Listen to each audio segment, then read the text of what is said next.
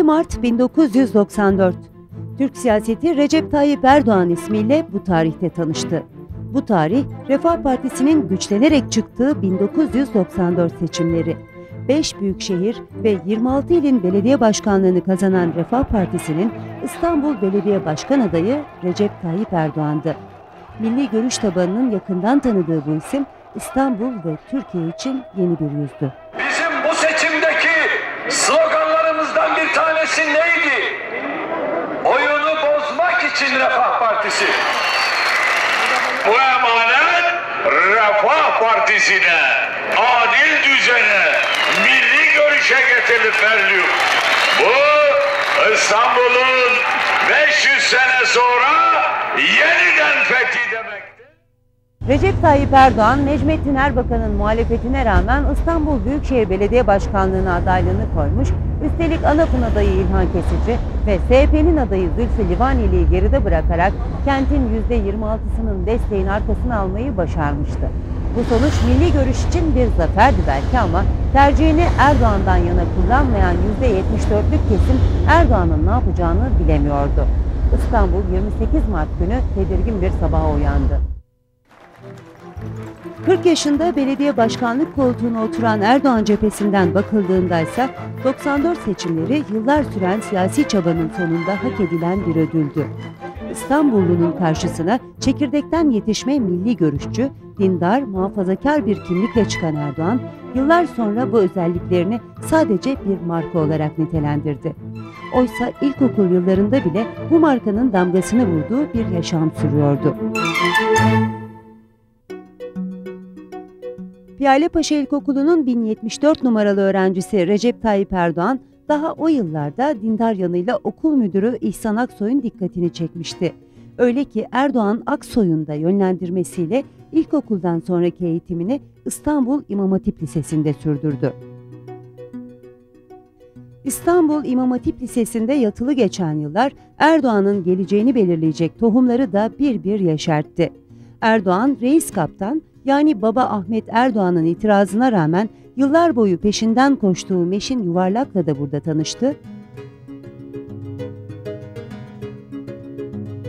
Milli Türk Talebe Birliği ile de. Hatta yıllar sonra Siirt'te siyasi kaderini değiştirecek şiir tutkusunun başladığı yıllarda yine İmam Hatipli yıllarına denk geliyor. Erdoğan bugün bile en sevdiği şairler olan Necip Fazıl Kısakürek ve Ziya Gökalp'in dizeleriyle de o yıllarda tanıştı. O İstanbul İmam Hatip'in daima en aktif öğrencilerinden biri oldu. Lisansiyer olduktan sonra futbol yaşamım devam ederken okuduğum okulda da liseler arası yarışmalara katılıyordum. Yani şiir okuma yarışmalarından tutun münazaralara. Bunun yanında e, İstanbul İmam Hatip'te okuyordum. O zaman İstanbul'da bir tane İmam Hatip okulu vardı. Orada okuyordum. Aynı zamanda yine liseler arasındaki bütün atletizm yarışmaları, voleybol yarışmaları, bunlarda yine okulumun o tür etkinlikleri içerisinde de bizzat e, görev alan öğrencilerden bir tanesiydim. Yani bu tür bir e, aktif e, hayatım vardı okul yaşamında. İmam Hatip ve Milli Türk Talebe Birliği yıllarından Erdoğan'a kalanlar bununla da sınırlı değil. Erdoğan gelecekte aynı kaderi paylaşacağı, hatta bir kısmı bugün AKP'li milletvekilleri arasındaki yerini alan pek çok isimle de aynı yıllarda tanıştı. 1973 yılı Erdoğan'ın siyasi yaşamında açılan yepyeni bir sayfanın da başlangıcı oldu. Erdoğan İmam Hatip Lisesi'ni bitirmiş, İstanbul İktisadi ve Ticari Bilimler Akademisi'ne başlamıştı. Milli Selamet Partisi'ne üye olmasının ardından siyasi yaşamındaki merdivenleri de büyük bir hızla tırmanmaya başladı.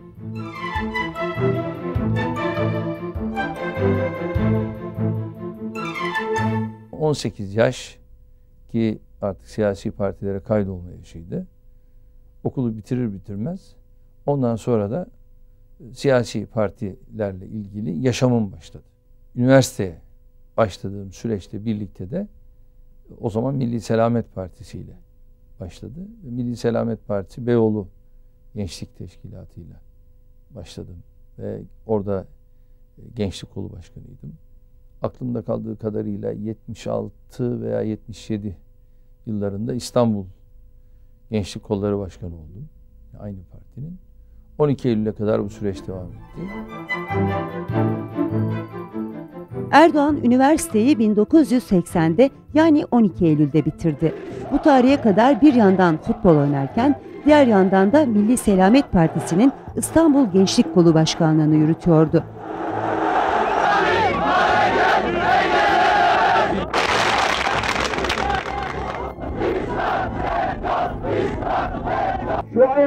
Ayasofya'yı tekrar ibadete açacağımız günün heyecanını duyuyoruz. Erdoğan ve çevresindekiler bu dönemi sorunsuz atlattılar ama 12 Eylül herkes gibi Erdoğan'ın da siyasi yaşamını kesintiye uğrattı. 12 Eylül tabii bizim e, Gençlik Kolları Başkanı olduğum dönem. Tabii üniversite öğrencisi olduğum dönem ve üniversitelerde hakikaten sıkıntıların olduğu dönem. E, bizim de il başkanı olarak, Gençlik Kolları Başkanı olarak özellikle yani sorumlusu olduğum gençliğimi bu anarşinin içerisinde bulundurmamak ve onları oradan çekebilmek.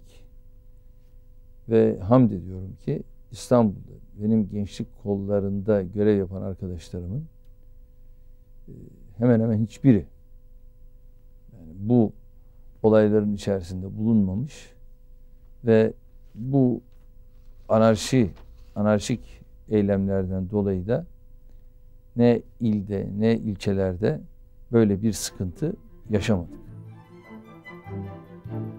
Bu sürede askerlik hizmetini yapan Erdoğan, siyasi yasakların sona ermesiyle birlikte kapatılan Milli Selamet Partisi'nin yerine kurulan Refah Partisi'nin ön saflarındaki yerini aldı. İstanbul'da önce Beyoğlu ilçe başkanı, ardından 1985 yılında da İstanbul İl Başkanı ve partisinin Merkez Karar ve Yönetim Kurulu üyesi oldu. Ancak Erdoğan daha fazlasını istiyor, bunun için de çok çalışıyordu. Sevgi mücadeleniz, kardeşlik mücadeleniz, yeni devrin başlangıç mücadelesi mübarek olsun, aydınlık yarınlar yakın olsun inşallah. Bu süreçte yine e, 86'da milletvekili adayı oldum. Ara seçimde. 80 89'da Beyoğlu Belediye Başkan adayı oldum. Beyoğlu Belediye Başkan adayı olduğum zaman bir önceki seçimde yüzde dört onda bir gibi oyumuz varken belediye seçiminde yüzde 21.7 gibi bir oya Beyoğlu'nda çıktık 89 seçiminde. Erdoğan Refah Partisi'nin oy oranındaki hızlı artışa rağmen belediye başkanı da olamadı. Ama bu oy artışında milli görüş çizgisine taban tabana zıt düşecek atılımların payı da vardı. Erdoğan parti içinden gelen eleştirileri de göğüsleyerek 1994 seçimlerinde onu belediye başkanlığı koltuğuna oturtacak çalışmaları başlatmıştı. Refah Partisi Erdoğan'la birlikte daha önce görmediği ancak sonraki seçimlerde teşkilatın tamamının benimseyip kullanacağı bir çalışma yöntemini hayata geçiriyordu. Kadınların ilk defa bizim partimizde Beyoğlu seçimlerinde e, aktif siyasetin içerisinde yer almalarıydı. Yani o çok anlamlıydı ve bizimle beraber çok ciddi bir çalışma yaptılar. Beraberce bu çalışmayı yaptık.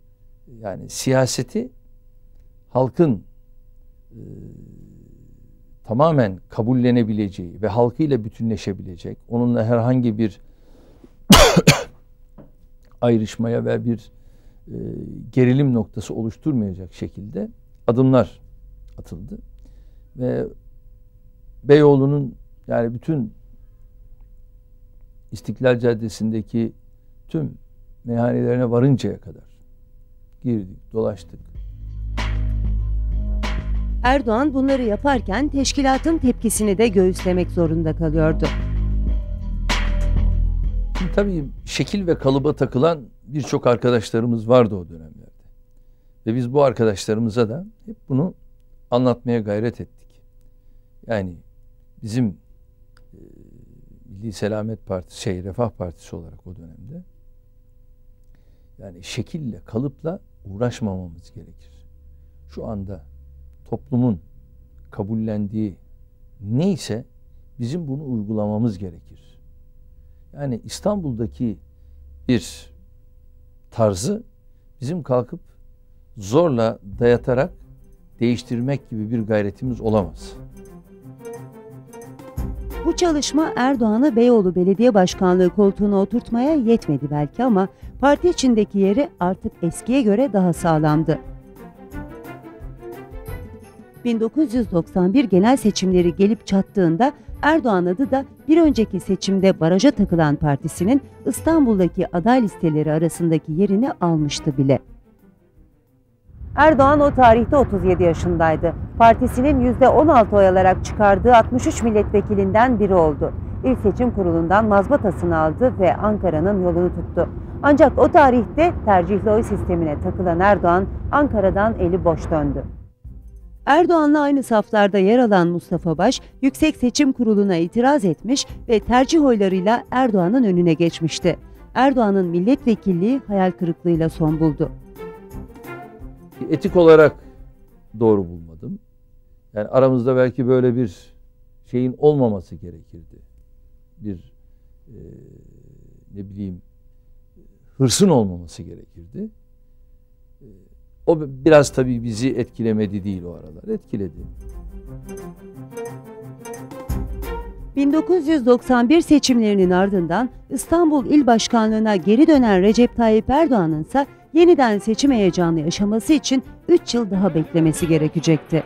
Erdoğan bu süreyi iyi değerlendirdi. İkinci fethe vesile olsun.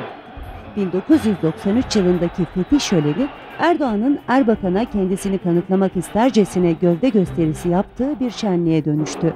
Erdoğan artık sahaya çıkmıştı. Müjde-i nebevi olan Konstantiniye muhakkak fetholunacaktır. Onu fetheden komutan ne güzel komutan ve onun askerleri ne güzel asker adını çağırmaya başlamanın manası buydu.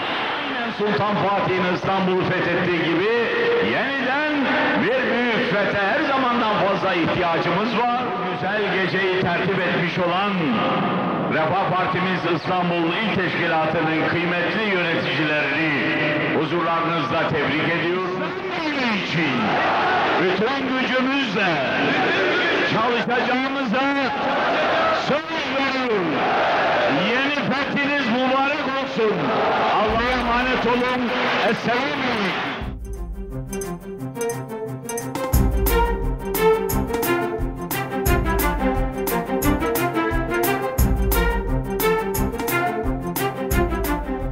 ...1994 yılı geldiğinde Erdoğan bu kez İstanbul Büyükşehir Belediye Başkanlığı'na adaylığını koydu. Ancak Erdoğan ismini Necmettin Erbakan'a kabul ettirmek kolay olmadı. Belediye başkanlığına Ali Coşkun gibi güçlü isimler de adaydı. Ama Erdoğan buna rağmen adaylığını koydu. Peki e, Sayın Erbakan'ın Ali Coşkun lehine bir tutum takındığı, Oğuzhan Asil Türk'ün ise sizden yana tavır koyup Erbakan'ı ikna ettiği doğru mu? Şimdi o tür şeylerin hiçbirisini bilemiyorum. Onların hepsi benim bilgimin dışında olan şeyler. Yani tabii bilgimin içerisinde olan her şeyde konuşmayı doğru bulmuyorum. Çünkü belli şeylerin bende gizli kalmasında fayda var. Ama ben yani kamuoyu açıklama şeyi araştırması yapıldığı için bunları açıklıyorum. Ve bu kamuoyu araştırmalarında da netice e, bizim lehimizde çıktığı için bizim adaylığımızda karar kılındı.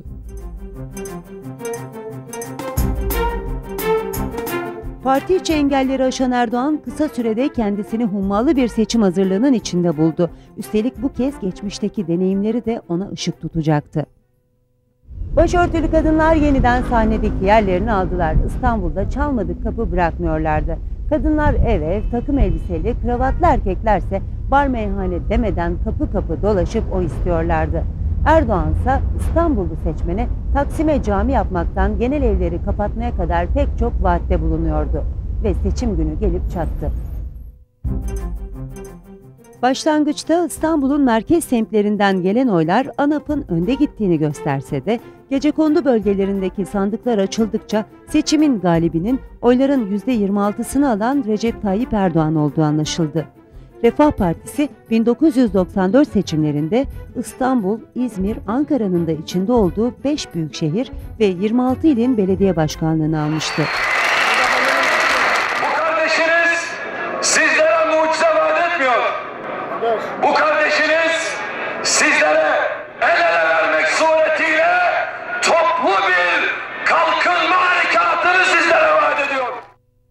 28 Mart sabahı İstanbul yaşadığı şokun etkisindeydi.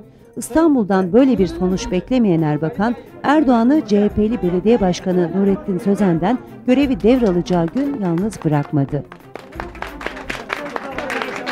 bu devrin simgesi olarak İstanbul Büyükşehir Belediyesi mührünü değerli meslektaşım, değerli arkadaşım İstanbul Büyükşehir Belediye Başkanı Sayın Erdoğan'a teslim ediyorum.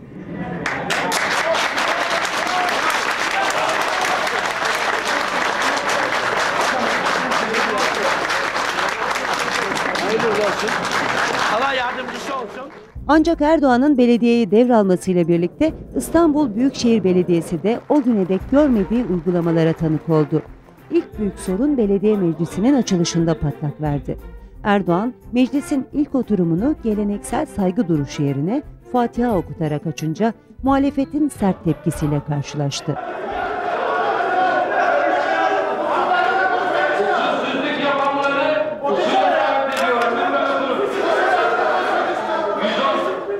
Meclisin muhalif üyeleri bu davranışı Erdoğan'a aldırmadan Atatürk için saygı duruşunda bulunup İstiklal Marşı okuyarak cevapladılar.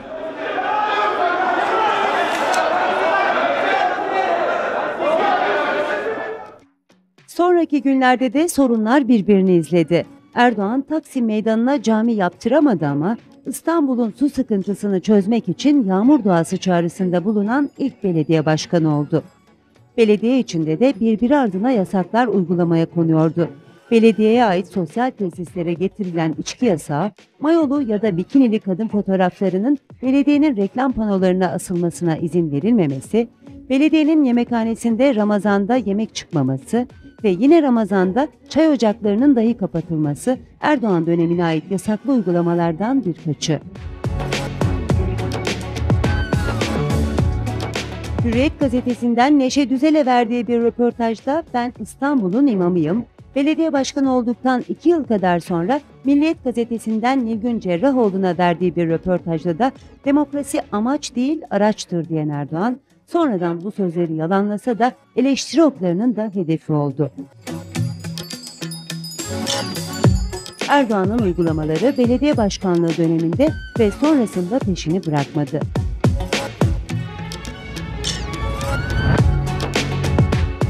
Birbiri ardına açılan davalar içinde bugün bile başını ağrıtanların başında albayraklar, akıllı bilet ve İGDAŞ soruşturmaları geliyor.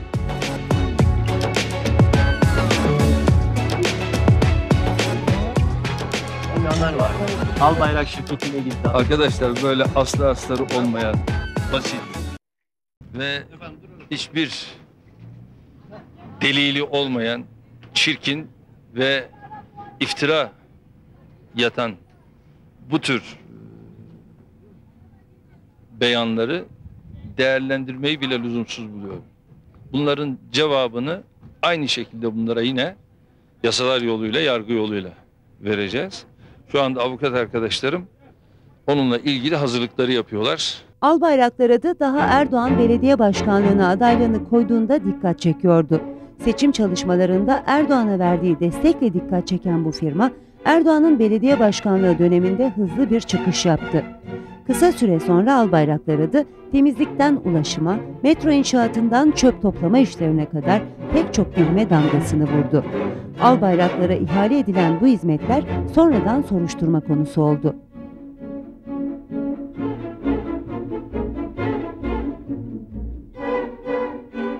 Sonra Recep Tayyip Erdoğan geldi. 1999 yılında dönemin CHP il başkanı Mehmet Bölük'ün gündeme getirmesiyle de Akbil soruşturması başladı. İddiaya göre 2 dolara mal olan Akbil, EYT'ye 6 dolara satılmış ve belediye 41 trilyon zarara uğratılmıştı. Refah Partili, o zaman Refah Partisi'ydi ismi, e, müteahhitlere, Refah Partisi yandaşlarına fahiş fiyatlarla Yani normal fiyatının 3-4 mislini bulan fiyatlarla ihaleler veriliyor.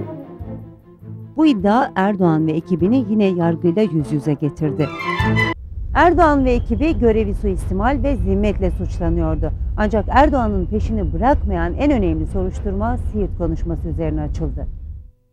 Minareler süngü, kubbeler miğfer, camiler kışlamız, müminler asker. 6 Aralık 1997'de Siirt'te yapılan bu konuşma televizyon ekranlarına yansıdığında dönemin Yargıtay Cumhuriyet Başsavcısı Vural Savaş da Refah Partisi'nin kapatılması davasının üzerinde çalışıyordu. Geçiş dönemi sert mi olacak, yumuşak mı olacak? Tatlı mı olacak, kanlı mı olacak? Asker kalkmış diyor ki PKK'lı olmanıza müsaade ederiz ama şerefli olmanıza asla diyor. Bu kafayla çözemezsiniz. Çözüm mü istiyorsunuz? Şeriatçılık. İnancımıza küfredilirken, milletimize küfredilirken, bütün değerlerimize küfredilirken içimize kan akıyor ama resmi görevimiz icabı orada bulunmak zorunda kalır. Savaşın harekete geçmesiyle Erdoğan'ın bugün bile devam eden yasaklı yaşamını başlatan süreçte işlemeye başladı. Erdoğan, halkı din ve dil farklılığı gözeterek kin ve düşmanlığa açıkça tahrik ettiği gerekçesiyle Türk Ceza Kanunu'nun 312'ye ikinci maddesi uyarınca yargılanıyordu. Benim o okuduğum şiir ilk defa orada okuduğum bir şiir değildi. Ta öğrenciliğimden itibaren. Yani belki de yüzlerce. Ben bu şiiri Taksim Meydanı'nda da okudum. Yüz binlerce kişi okudum. Ve o zamanlar hiçbir şey olmadı. Niye? Bu şiir defa Ziya Gökalp'e ait bir şiir. Türk Standartları Enstitüsü'nün yayınlamış olduğu kitapta yerini almış. Milli Eğitim Bakanlığı Talim Terbiye Yüksek Kurulu'nun tavsiyesi olan öyle bir şiir. Ve konuşmanın zaten içeriğinde bütününü ele aldığınız zaman orada bir din, dil, ırk bunun e, ayrımcılığını değil, tam aksine bir bütünleştirmeyi görürsünüz. Öyle bir bütünleştirme ki o alanda Arabıyla, Kürdüyle böyle bir topluluk var ve bu topluluk o mitingden sonra oradan kavgayla, gürültüyle ayrılmıyor. El ele, omuz omuz ayrılıyor. Ve ben o kitle, kitleye bize Türkiye Cumhuriyeti vatandaşlığı yetmez mi sorusunu sorduğum zaman onlardan yeter diye cevap alıyorum. Adeta böyle bir karşılıklı görüşmeyle, konuşmayla böyle bir ilgiyi uyandırıyoruz o meydanda. Oradan vatandaşlarımız hepsi el ele, omuz omuz ayrılıyorlar. Yani ben takdir almam gereken yerden böyle bir maalesef neticeyle karşılaşıyorum. Erdoğan'ın Ziya Gökalp'e ait dediği, sonradan Cevat Örnek'e ait olduğu anlaşılan şiir nedeniyle Diyarbakır Devlet Güvenlik Mahkemesi 21 Nisan 1998'de Erdoğan'la ilgili mahkumiyet kararı verdi. Erdoğan bir yıl hapis ve 860 bin lira ağır para cezasına çarptırılmasının yanı sıra artık siyasetten de men edilmişti. Bu tabii ki kimin söylediği maalesef nerede söylediği ve tabii yaklaşım, yorum böyle bir yorum. Erdoğan 4,5 yıllık belediye başkanlığına nokta koyan bu kararı öğrendiğinde İstanbul Büyükşehir Belediyesi'nin itfaiye müzesinin açılışını yapıyordu. Daha henüz bana geçmiş bir şey yok. Telefonla öğrendik biz e, Yargıtay kararı Tabii ben aslında böyle bir kararın geleceğini beklemiyordum. Tabii ilk önce bir yani bende olumsuz etkisi olmadı dersem yalan olur. Ama daha sonra tabii hemen ona alıştık, alışmaya mecburduk. E, tabii bu bir kanuni süreçti. Bana göre bir hukuki süreç değildi. Çünkü Türkiye'de bir de kanuni süreçlerle hukuki süreçler birbirine karıştırılıyor. Ben hukuki noktada, hukukumu arama noktasında, milletin maşeri vicdanındaki yerimin nasıl korunduğunu o gün de gördüm. Ondan sonra da gördüm. Bugün de görüyorum. Gerçekten de kararın açıklanmasıyla birlikte Büyükşehir Belediye Başkanlık binasının önü birkaç saat içinde tepkili bir kalabalığın gövde gösterisine sahne oldu. Bu tepki sonraki günlerde de sürdü. Ancak Erdoğan için 4,5 yıl süren belediye başkanlığına veda etmek kadar önem taşıyan bir gelişme daha yaşandı.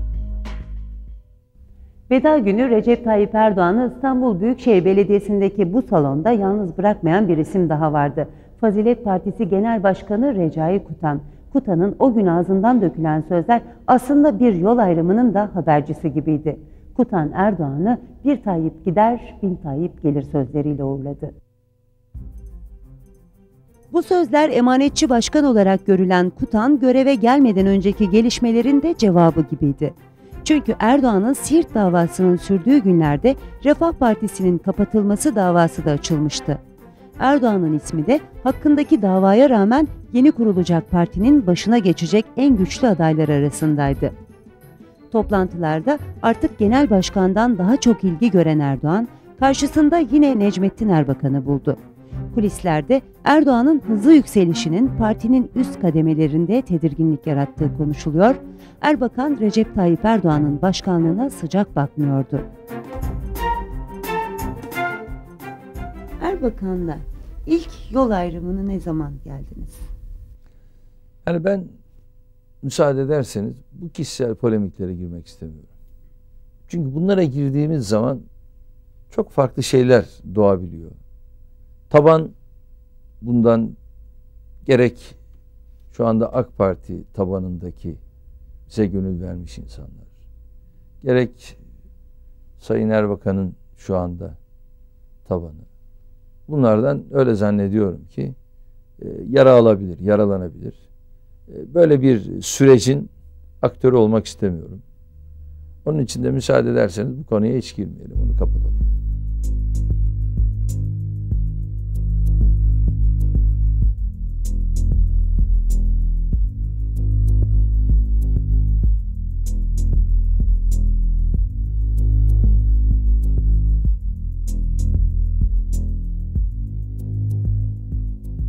Erdoğan'ın yargılanma süreci devam ederken 16 Ocak 1998'de Refah Partisi de laiklik karşıtı eylemlerin odağı olduğu gerekçesiyle kapatıldı.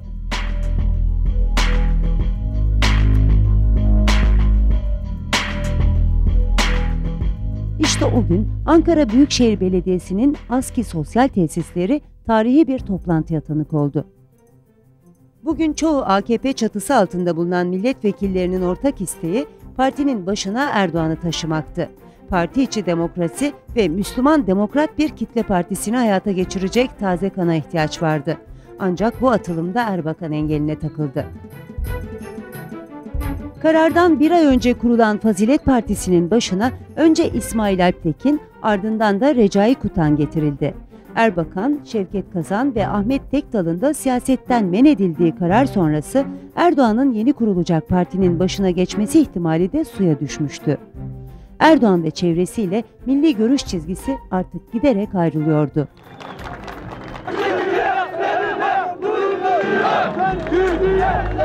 Öyle ki Erdoğan 26 Mart 1999 yılında Pınarhisar cezaevinin yolunu tutarken tarafların aksi yöndeki demeçlerine karşın Fazilet Partisi'nde artık Aksaçlılar ya da gelenekçilerle Erdoğan'ın temsil ettiği kanattaki yenilikçiler arasındaki gerilim çoktan tırmanmıştı.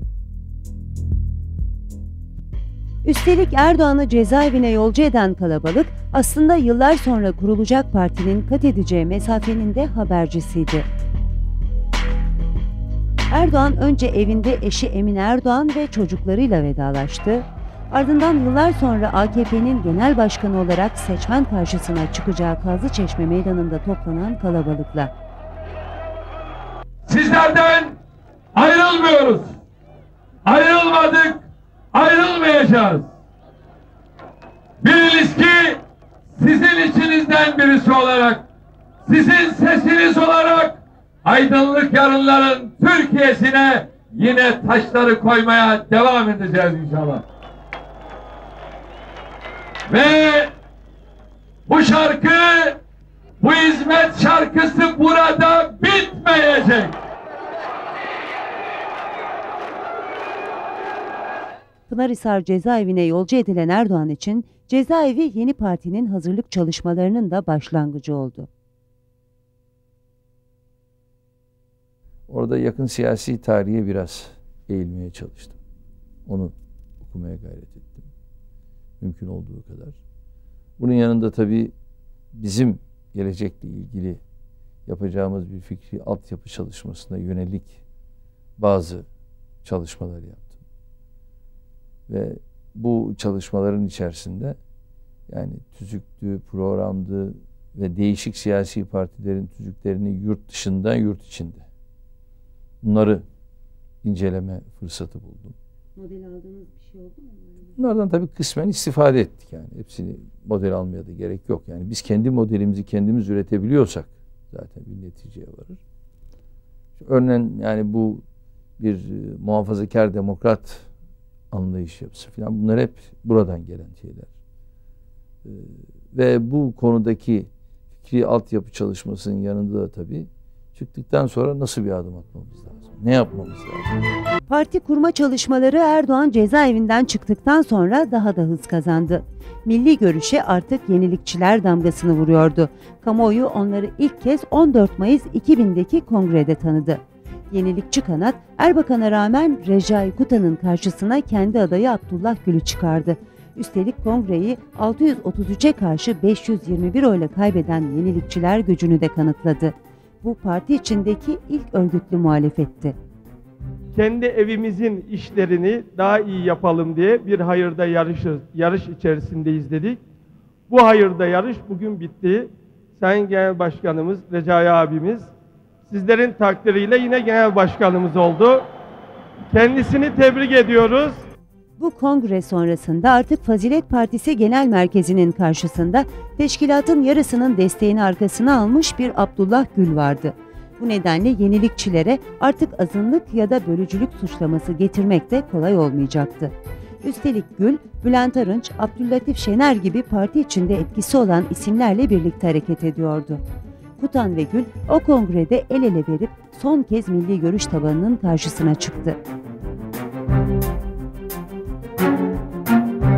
Bazıları diyor ki bu yenilikçiler yeni olarak ne getiriyor? Ben söyleyeyim size. Yenilikçiler bir şey getiriyor. Ne biliyor musunuz? Evet. Barışı getiriyor. Erdoğan önderliğindeki yenilikçiler artık değiştik mesajları verirken bir yandan da Fazilet Partisi, Refah Partisi'nin devamı olduğu gerekçesiyle Anayasa Mahkemesi tarafından 15 Aralık 2000 tarihinde kapatıldı. Bu kapatılma tarihi kopuşu da su yüzüne çıkardı. Yenilikçi kanat artık milli görüş ve Erbakan çizgisinden ayrılıyordu. Hızla yeni bir parti kurulması için çalışmalar başladı. Bu arada Erdoğan'la benzer bir hüküm giyen Hasan Celal Güzel'in siyasi yasağı kaldırılmış, bu gelişme Erdoğan'ın siyasette önünün açılması şeklinde yorumlanmıştı. Erdoğan cephesinden bakıldığında Erdoğan'ın siyaset yapmasının önünde bir engel kalmamıştı. Birbiri ardına toplantılar başladı. Kurulacak partinin kurmayları kah Abant'ta, kah Anadolu'nun bir başka köşesinde toplanarak çalışmalara hız vermişti. Bu süreçte yenilikçiler adına bir de Erdemliler hareketi eklendi. Yeni kurulacak partinin yalnız milli görüş tabanını değil, tüm Türkiye'yi kucaklaması hedefleniyordu. Yıllar boyu içinde yer aldıkları milli görüş onlar için artık yalnızca bir markaya dönüştü. Bana göre tabii o, o zamanlar bu işin lideri durumunda olan Sayın Erbakan ve kurmayları bunun markasını böyle koymuş. Bir nevi bunun markası, adı. Yani içeriği itibariyle bizler meydanlarda konuştuklarımızda bunu anlatmaya başladık. Doldurmaya başladık. Yani bu böyle bir nas değil. Yani bugün nasıl ki sosyal demokratların kendilerine ait ileri sürdükleri tezlerin bir ne bileyim markası varsa sosyal demokrasi, öbür tarafta ne bileyim e, liberalizm gibi herhalde milli görüşü de böyle bir yere oturtmanın gayreti içerisindeyim. Yeni oluşum uzun süren çalışmasına 14 Ağustos 2001'de nokta koydu. Partinin adı Adalet ve Kalkınma Partisi'ydi. Recep Tayyip Erdoğan 16 Ağustos 2001'de yaptığı ilk kurucular kurulu toplantısında genel başkanlığa adaylığını koydu Adalet ve Kalkınma Partimizin genel başkanlığına kurucu üyemiz Sayın Recep Tayyip Erdoğan'ı ve tek aday olarak 121 üyenin tümünün oyunu aldı Sayın Recep Tayyip Erdoğan ve genel başkanlık koltuğuna oturdu. Yenilikçiler artık milli görüş markasına ihtiyaç duymuyordu.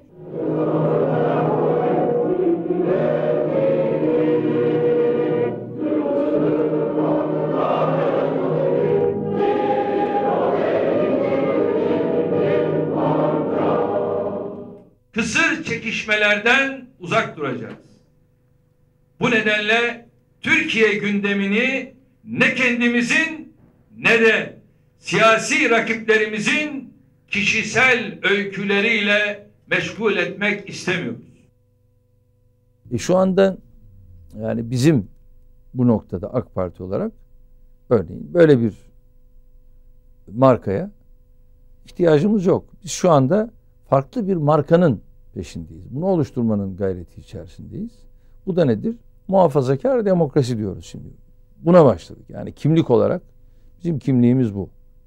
Şimdi biz de bu kimlik içerisinde, bu kimlik altında geleceğe yönelik yürüyecek ve bu çalışmaların neticesinde biz de bir marka oluşturacağız siyasette. Ha bunun adı ne olur? Onu zaman gösterecek. Ama şu anda bir muhafazakar demokrat kimlikle yürüyoruz. Adalet ve Kalkınma Partisi model olarak da artık Erbakan'ı değil Turgut Özal ve Adnan Menderes'i alıyor, miting meydanlarında 1946 ruhu aranıyordu. Sene 1950 Menderes ne demişti?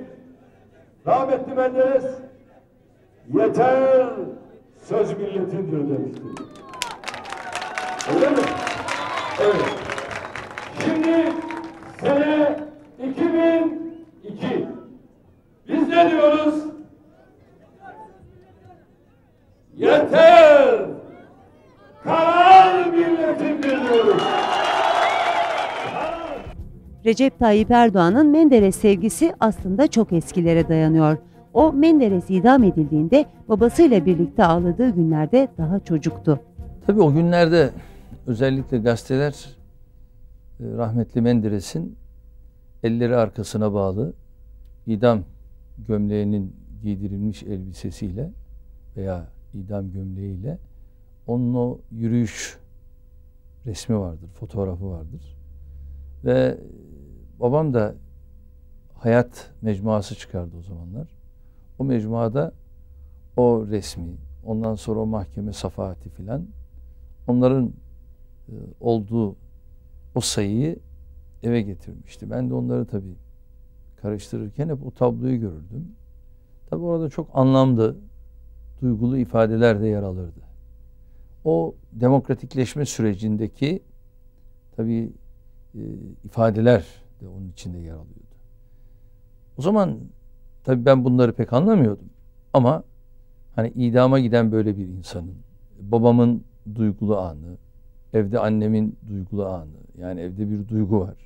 Yani bu kadar hizmet eden bir insanın idama götürülüşü olayı var.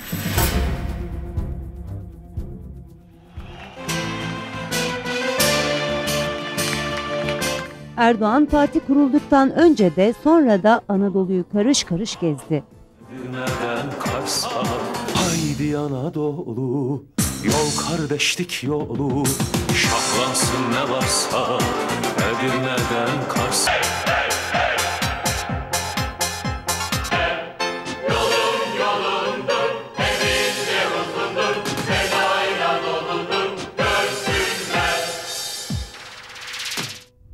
Hedefte artık Erbakan'ı yaşlı bulan milli görüş tabanının yanı sıra dönemin iktidar partileri DSP, MHP ve ANAP'tan umduğunu bulamayanlar da vardı.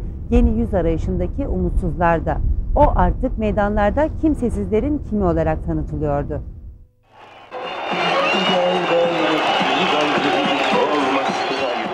Erdoğan, Adalet ve Kalkınma Partisi'nin genel başkanı olarak seçim meydanlarının birinden diğerine koştururken siyasi yasağına ilişkin süreçte işlemeye devam ediyordu. Gelip yaslandığım İstanbul sana selam olsun. Erdoğan'ın AKP'nin Kurucular Kurulu üyeliğinden istifa etmesi gerekiyordu. O gün geldiğinde verdiği istifa dilekçesi Yargıtay Cumhuriyet Başsavcısı Sabih Kanadoğlu tarafından yeterli bulunmadı. Çünkü Kanadoğlu Kurucular Kurulu üyesi olamayan Erdoğan'ın bir partinin genel başkanı da olamayacağı savıyla Anayasa Mahkemesi'ne yeni bir dava açtı. Bu kez yalnız Erdoğan'ın genel başkanlığına tedbir konulması değil, AKP'nin kapatılması da gündemdeydi. Erdoğan 2002 genel seçimlerine bu gerçeklerin ışığında girdi ve Türkiye için tarihi bir gün olan 3 Kasım gelip çattı.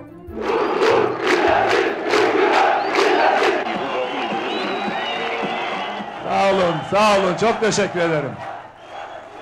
Bu ne güzel sürprizler böyle. Bu ne güzel, sağ olun. Türkiye Tayyip diyor, Türkiye. Gözünüz, evladınız, kanınız, canınızı başbakan yapmaya var mısınız? Profesör Doktor Necmettin Erbakan'a çiçek takdim ediyorlar. Ama arkadakileri göremiyorum. Türkiye bir dakika. Türk bir dakika izin verin.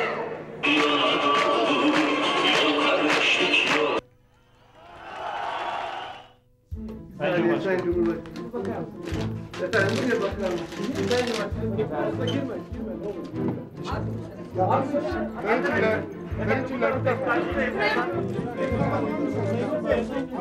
Ben 3 Kasım'da seçmen yıllardır Türkiye'nin kaderini belirleyen siyasi partileri tasfiye etmekle kalmadı, AKP'yi tek başına iktidara, CHP'yi de yine tek başına muhalefete taşıdı.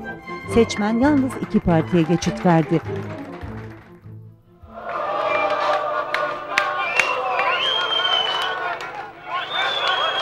Yerli ve yabancı medyanın gözü kulağı Ankara'da AKP Genel Merkezi'ne, İstanbul'da da AKP İl Merkezi'ne odaklanmıştı. Recep Tayyip Erdoğan seçimin galibi olduğunun anlaşılması üzerine basın mensuplarının karşısına geçti. Nefesler tutulmuştu. Erdoğan'ın ağzından önce Avrupa Birliği ve IMF konularında güven veren sözler döküldü. Türkiye'mizin Avrupa Birliği'ne giriş sürecini hızlandıran, ülkemizin dünya ile entegrasyonunu güçlendiren bir ekonomik programın uygulanması konusunda kararlı olan, böyle bir siyasi iradeyi inşa etmek için partimiz görev almaya hazırdır. Seçim sevincini kutlamak isteyenler sükunete davet edildi. %34.1 ile gelen seçim zaferini kontrollü bir coşkuyla kutlayan Erdoğan ve AKP temkinli olmayı seçmişti. Bu saatten sonra hepimizin, bütün Türkiye'nin sağduyuya ihtiyacı vardır. Bütün vatandaşlarımızdan, bütün partililerden ve özellikle AK Partili dostlarımızdan özel ricam şudur. Sakın hiç kimse kamu düzenini bozacak, emniyeti zedeleyecek, herhangi bir kimseyi rahatsız edecek bir davranışa tevessül etmesin, etmemelidir.